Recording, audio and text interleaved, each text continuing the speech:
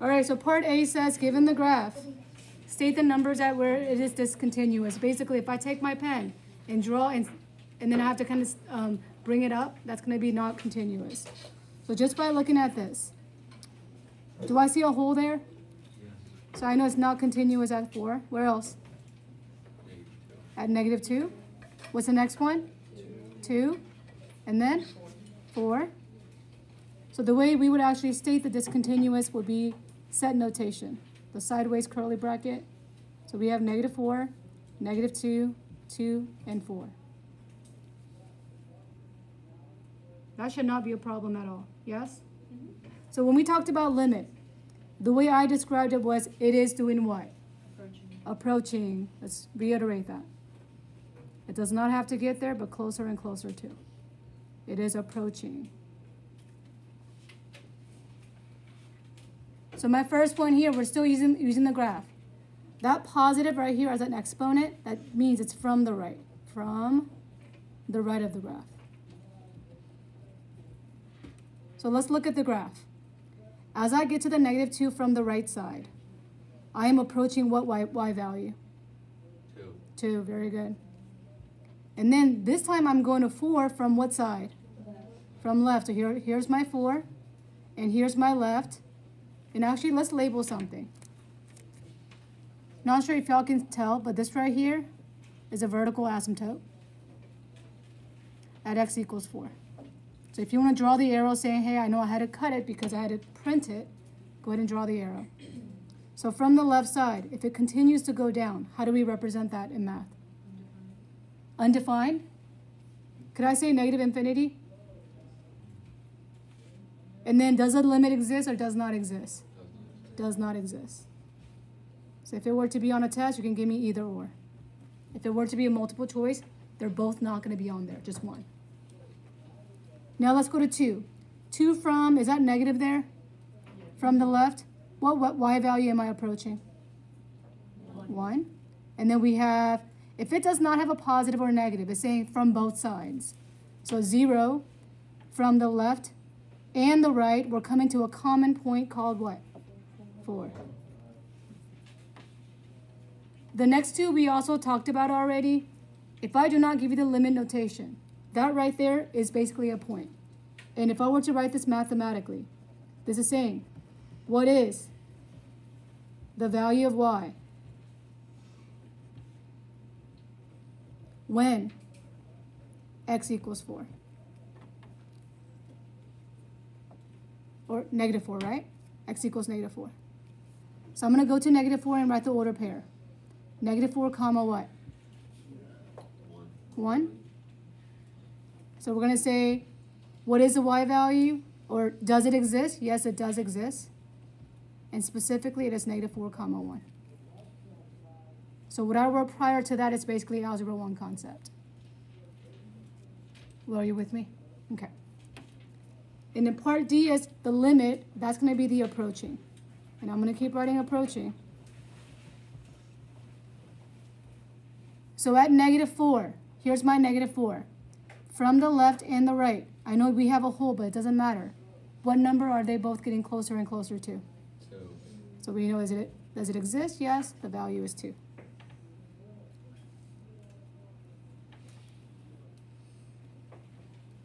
All right, let's move on to the next graph. So here I gave you a new graph. The first part says, where is it discontinuous? And let's try to go in order. Give me the first number. Negative 2. Negative 2. What's the one after that? 2. 2. After that? 4. 4. And then? 6. 6. 8. And 8. Now here's something unique. Because 8 is the endpoint, it is at the end point. I'm just to say at the end. Typically, you don't have to include it. But if you do include it, I'll take it. So typically,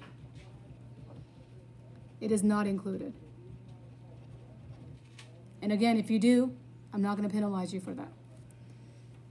Would that be Can I go ahead? What's up? Would that be the same for negative four?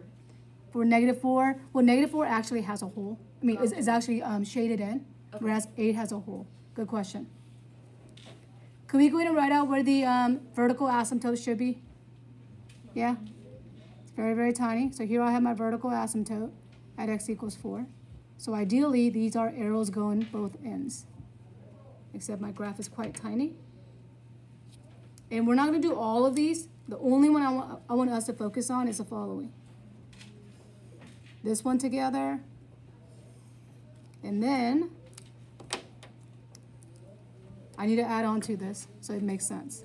Let's write out limit as x approaches 6 of g of x is equal to something. And then I want to highlight this piece together. They're linked. Okay, with the partner, let's go ahead and um, do the green and the pink piece. Go. Talk to your neighbor.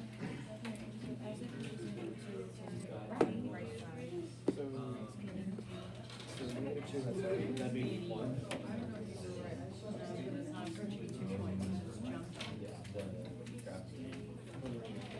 Because it's like.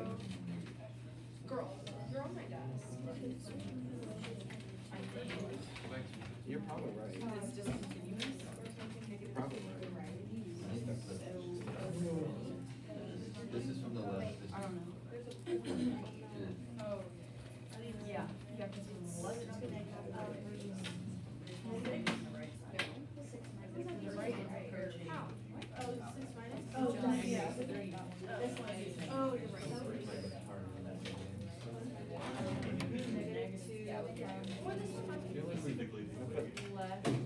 Yeah, because that'll be more. I feel like we have time for it. Oh, and then, see, yeah, and it's approaching negative two, it's at two points. So I think, I think it's one.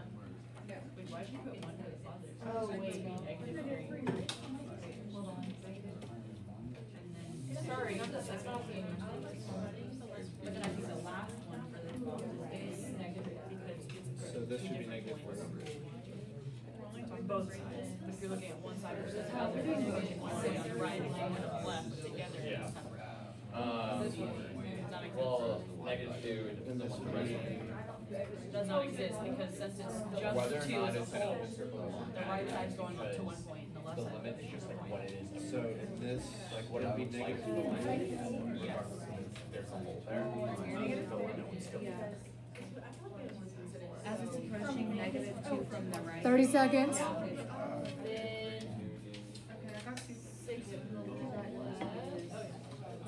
Wait, sorry. I think that infinity is just infinity. Wait, six from the right. I think infinity, that's just the. As it's approaching six from the right. Oh, wait. So it's up here at four. Oh,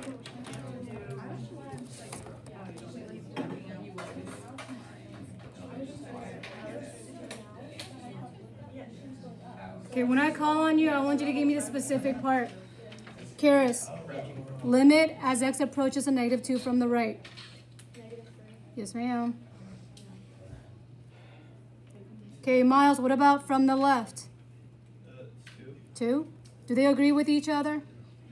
So the limit does not exist on that specific part without the power. So limit as x approaches a negative 2 does not exist. All right, Jocelyn, limit as x approaches the uh, 6 from the positive. Four, very good. Joe, what about from the negative? Oh, did I write negative on this one? Oh, there's a negative here. Is it negative 4? Yes. Do we agree on each other? So in general, limit as x approaches to 6 does not exist. So something I forgot to add on the very top. Silly me. One-sided limit can be infinity or negative infinity. Because on one side it could be going down, on the other it could be going up. And we already had an example on, on part B, but I did forget to mention that. All right, if you're ready for the back page, give me a thumbs up. Okay, let's start with the partner work. Here I gave you a different graph. Can you find the limit still? Go. One minute on this.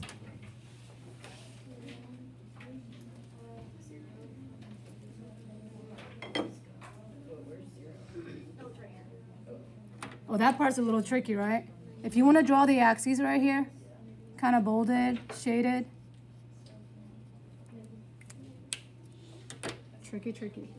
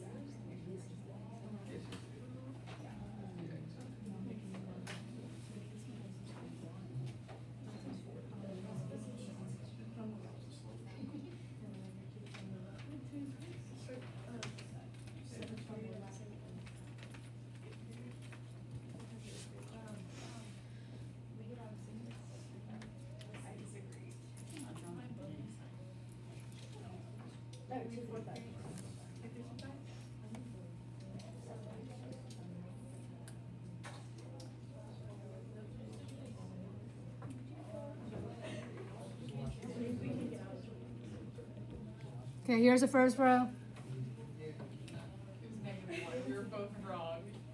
If you and your neighbor had it, give him a high five and say, good job.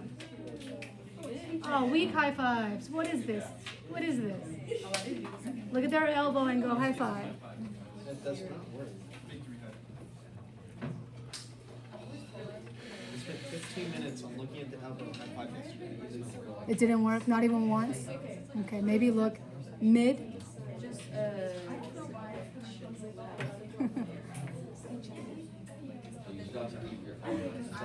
All right, the next one, let's check. See a better high five once you have it with the partner. Yay. It wasn't this. It's like, like,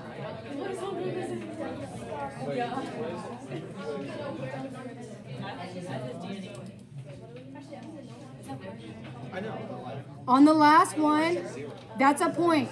That is approaching. So our point at x equals 2, y value is 1.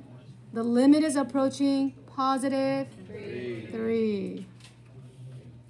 All right, let's do a real life example and see what the scenario is like. why was it zero? Which one? This one right here? So here's 2, right? 2? From the right side, this is the right side of 2. It's getting closer and closer to 0. Um, that makes sense. All right, Jason, let's read number 4, the word problem. Uh, A patient receives hundred and fifty milligram injection of the drug every four hours. The graph shows the amount after T of the drug in the bloodstream after T hours. Uh, later, we'll be able to compute the di- the dosage and the time interval to ensure the concentration does not reach harmful level. Find limit F of T, uh, when T approaches twelve, and From the left. from the left and when T approaches twelve from the right, and explain the significance of these one-sided limits. Basically, in words, tell me what that basically means. Okay? Now, we are approaching what number? 12, so let's go to 12. And then our injection is 150, and then it, the um, dose kind of goes down because it wears off, right? And at most it's 300. So at 12, I want to figure out from the left. So from the left on the 12 is here. So what number am I reaching? 150. Okay, so let's write this out. Limit. Keep in mind, always write more. Repeating the statement is always welcome. As a t as it approaches 12 from the left of f of t, it is 150 milligrams. And that is the amount of drug before what? Before the next injection. So it is the amount of the drug before the injection, since he needs it every four hours.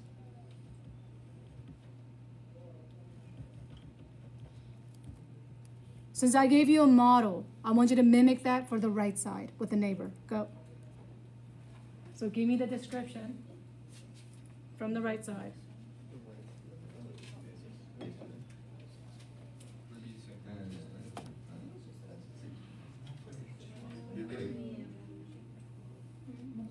I mean, thirty, I mean, three, oh my gosh, three hundred.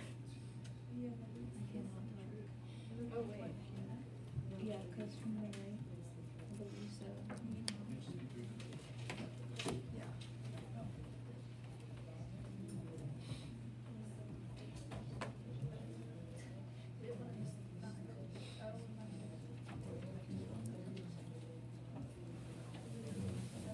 And when I call on you, I want you to read your whole sentence, starting with the word limit.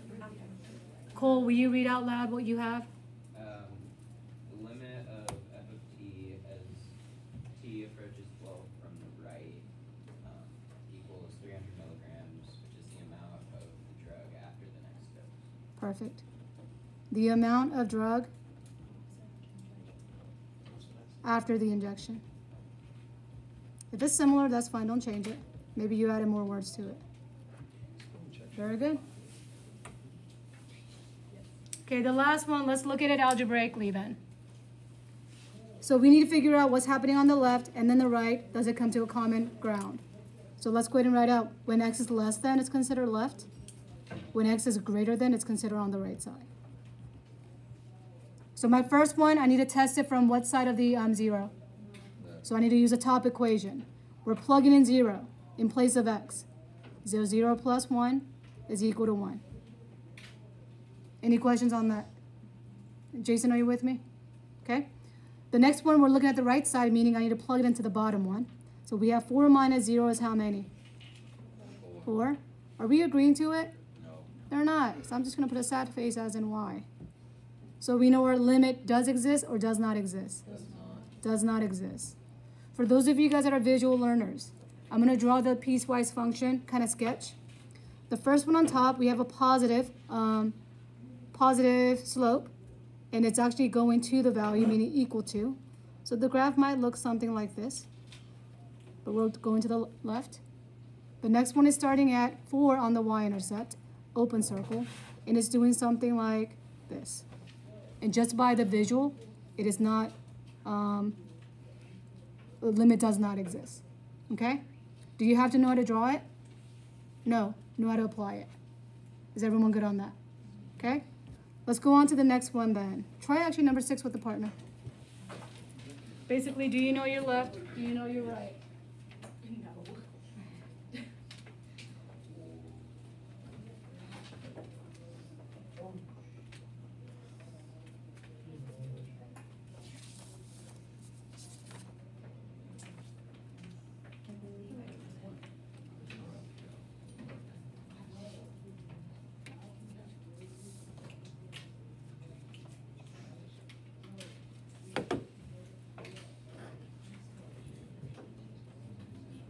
Did y'all realize top was the right?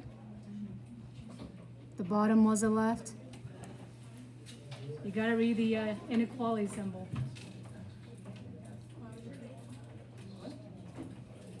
It doesn't end up mattering, Kyle. You're right. So when we approach from the left, what value do we get to? Three. Three. And also from the right, we get Three. three. So now I'm gonna curly bracket and go, oh yay, they're equal. So limit does exist, which is three. Three. Any questions on that? All right, so then I'm gonna actually do something